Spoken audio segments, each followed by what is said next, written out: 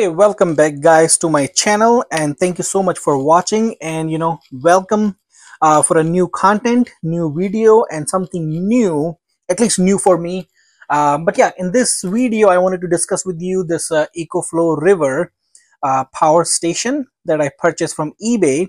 It was actually listed as uh, not working or parts only. I'm gonna send you uh, not send you I'm gonna maybe share this on the screen I'm going to upload the picture of this uh, power station that I purchased and I was able to fix this thing. So I'm going to do maybe part two on exactly how I fixed it. And to be honest, I opened this puppy for almost 10, 15 times. There were some mistakes I was making as I was closing it back. So I have to reopen and, you know, re putting wires here and there. So I feel like really pro at this time because I opened this thing like many times. I feel like I'm really good at this by now. So I'm going to show you step by step complete tear down completely to the cell level where you can see the individual uh, or at least the battery pack of all the individual cells that are in the battery pack.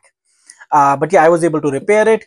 In the next video, I'm also going to discuss with you exactly how to pinpoint the issue when you're dealing with this uh, river one.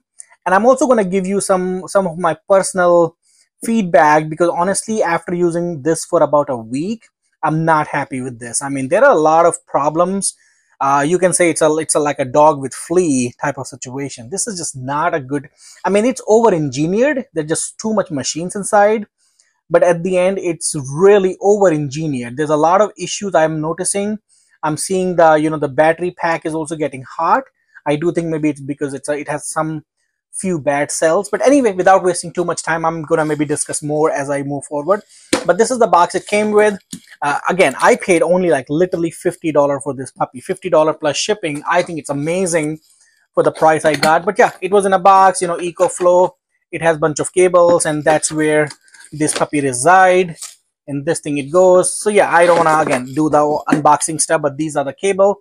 You can plug this in your car cigarette lighter and this is XT 60 or 90 one or the others I think 60 you plug this puppy in the side plug it in and yeah this is the DC adapter one. Uh, but anyway let's start unboxing this puppy. So I, I can kind of show you. At the bottom there are a few screws but you don't really mess with these. The only time you connect or you open the screws is when you're adding a separate battery pack. I mean I can quickly show you I guess so you know what to expect inside but you don't really need it because first I thought I need to open here as well but I'm gonna I guess unbox this too. Let me show you here. Okay here you can quickly see you see these little pins these metal pins? This is where the additional battery pack. So it's basically like expandable if you decide to add an extra 288 watt hour additional cells so you basically have they sell on their website. I mean, it's kind of older model. They don't sell anymore, but maybe you can find somewhere on eBay or Amazon, I guess. But basically, you slide that new one in and you put the screws inside. So it's like adding an extra battery pack. But if you want to open this for repair for other reasons, you don't really mess with the bottom area. So anyway, let's start the top. So the only thing you have to remove is these four tab, one, two, three, four. So I have this little little thing laying around. So this just does not give any scratches. So all you have to do is carefully put that puppy in and kind of bend this way, very, very slopes. I was using the wrong way, uh, like this. And it comes out nice and easy. Look at that. It's already out without giving any scratches. Same on this side. There you go. Nice and easy. Not a whole lot. Oops, but whatever. But yeah, there are four long screws you use this one of this uh, allen wrench one.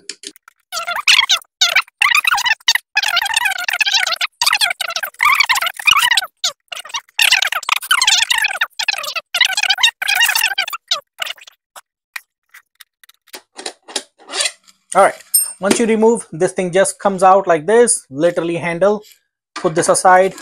This lid comes out as well. Sometimes it get stuck in this area in input area. So you kind of hold this puppy here and then slide up like that. Look at that how it came out. You see how it came out? No cables nothing. Just kind of put your hand on this side push this down. Sometimes it gets stuck in here and it pull the whole thing. So just kind of push this puppy down and pull it okay? So we got this one out completely lid. Okay now there are three different external things or i guess that connects to the main board. This is one that main assembly number two this comes out and then number three are three on three sides. Okay so very first thing i would do remove some of the wires from here. And i'll go maybe i'll do completely um put it back as well. I don't know if i need it but uh but maybe i i guess i'll do it. I don't know. But yeah so very first thing i would like to do is remove this ground wire one. You know what? Let me zoom on this little bit. I think that's fine. Okay. So you have to remove this screw let me see if i can move this puppy here. Uh, let's see. Okay i hope this little better. Okay this screw is right here. So you need to remove this ground screw. This is for the ground wire. So remove this. And i would like to put this one back so that way you don't lose it. So remove these wires. And i like to put this one right back on the same spot just like that. There you go. Just like that okay? Now when you're done with this you have to remove this black wire. Oops. let me move this a little bit this side. There you go. Now we want to remove this black wire which is a hot line. When you plug the AC cable AC from AC outlet. So uh, this way. So this black one is a main hot one. So you, all you do is like press there's a little lock right here. So you press that thing like that and then you pull it upward. Let's try again. Nope not strong enough. Let's press with this maybe. There you go. There's a little tab you have to press and then pull it. So it came out. Now the second is white one which is a neutral one. You press with your fingers and there you go. It came out now this one is just comes right like that and this is a ground one. There you go. So once again when you're looking right here this is the white one which is your neutral wire yellow one your ground wire and black one here which is your hot wire. And this goes as is. There's, there's only one way you can't go wrong here and this is your ground wire. So yep we are out on here. So put this puppy aside. Now the next thing we have to do unplug this cable because this is coming from your battery pack. This one actually let me talk like this.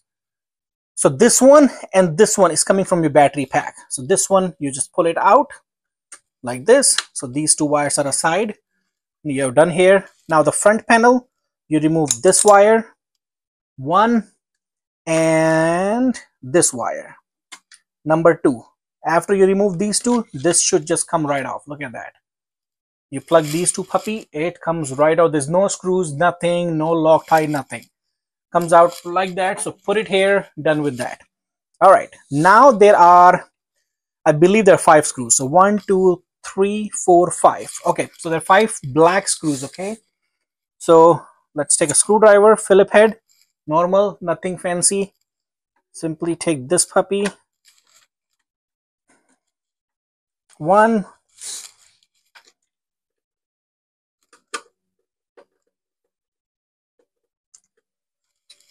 two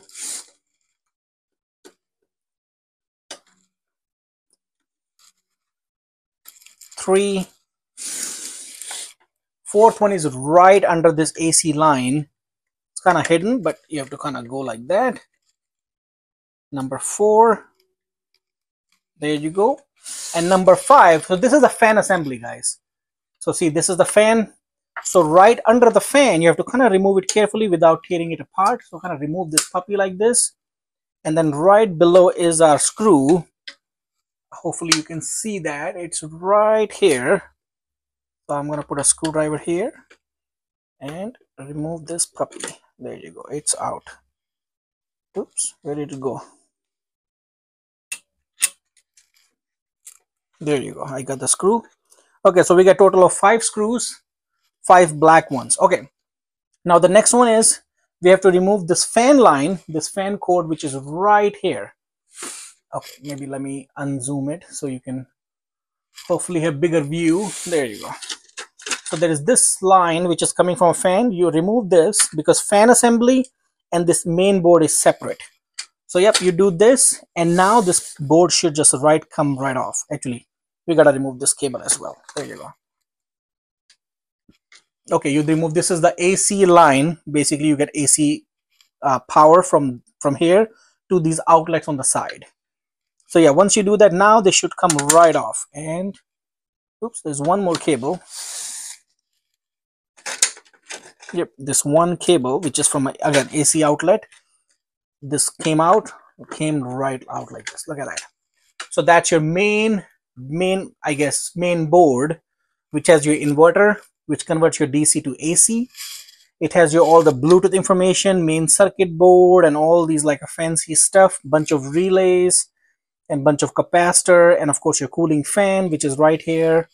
And yeah this is kind of main processing board. This is what does main i guess all this you know all this machinery all main programming or whatever you want to call it. Okay that one is aside now to remove this puppy there are four screws four silver looking screws all around so number one number two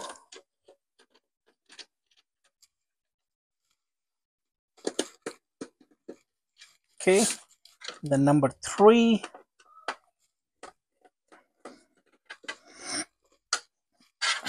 and number four.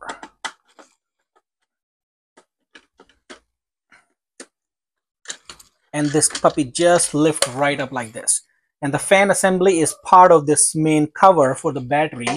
So you can put it here. Again there are four screws. Now this of course comes out like this. This is your outlet one on the side.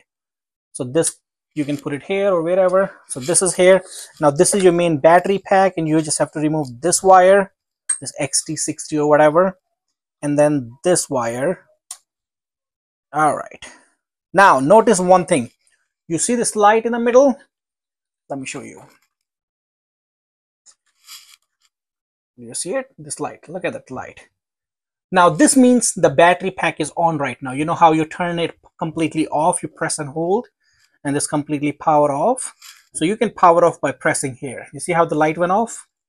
Now the battery pack is officially off. If I leave it on in about a month or so, and that is where all the problem happens. You see this battery blinking and, and you know, the things won't charge anymore because one of the cell or one of the segment is way too low to be able to charge. So you want to make sure you power it off. And to power it on, you press and hold for just two seconds. And look at that, how it's blinking. See it? The solid means or blinking means it's, it's powered on. And you press and hold, it's powered off. Now this is means it, it's the BMS is off. The BMS completely shuts down. And now you can literally lift this entire battery pack. And I'll show you here. Okay, so this is it guys. Look at that. So there are total 40 cells. So 10 here, 10 here, 20 and 20 on other side. So there are total 40 cells. And this is basically 8S battery config. And you know, I, again, I built a lot of Chinese battery using a Chinese, you know, BMS, uh, battery management system or uh, board. Uh, you know, they have normally B1, B2, B3. In this one, they have B0. So 0 is, of course, your B minus. minus 0 is minus again, b1 is 1, b2 is 2, b3 is 3, b4 is 4 and vice versa all the way to 8. But again, in the next video, I'm going to discuss all these technical details on how exactly you repair this because I repaired this puppy completely. It's working amazing. So I'm going to show you in the next video how you do it. But yeah, this is all the complete tear down. You know what? I'm going to make part two of how you put this back together. I think that would be easy because I don't want to make this video too long. Uh, but yeah, I'm going to end this video here. So you can see part two, uh, where you basically how you put the whole battery back together. And then part three can be where I'm doing the repair. So anyway, guys, thank you for watching the video. Uh, I hope you learned something new from my channel. If you did, do like, share, and subscribe to help my channel so I can, you know, come up with more new ideas to help you guys. But anyway, thank you for watching. We'll see you in the next video. Peace out.